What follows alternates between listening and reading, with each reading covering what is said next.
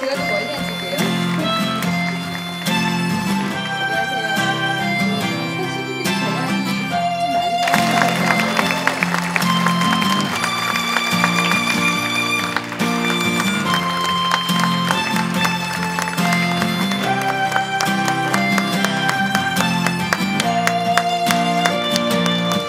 세월을 벌써 1년 정도 23번의 재판을 하는 경제고 그때 224년이 발표했어요.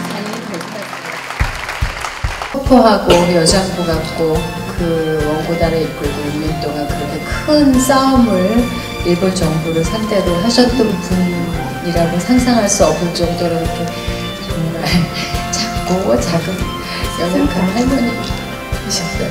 더 놀랍고 참 존경스럽습니다. 있습니다. 사실 많은 분들이 짐작만 하고 살아왔지만 제가 직접 그분을 대신 어, 연기를 해서 그분을 대신을 해서 제가 연기로 표현을 하다 보니까 음, 그 고통의 깊이를 헤아릴 수 없을 정도로 예, 너무 힘들었던 작품이었던 것 같아요. 정말 너무 많이 가슴이 아팠고 예, 우리들의 얘기는 아직 끝나지 않았다는 메시지를 어, 부산에서 좀 일으켜 주셔가지고 어, 저희 영화로 인해서 우리 대한민국 국민들이 다시 한번 예, 예, 뜨겁게 예, 이렇게 2차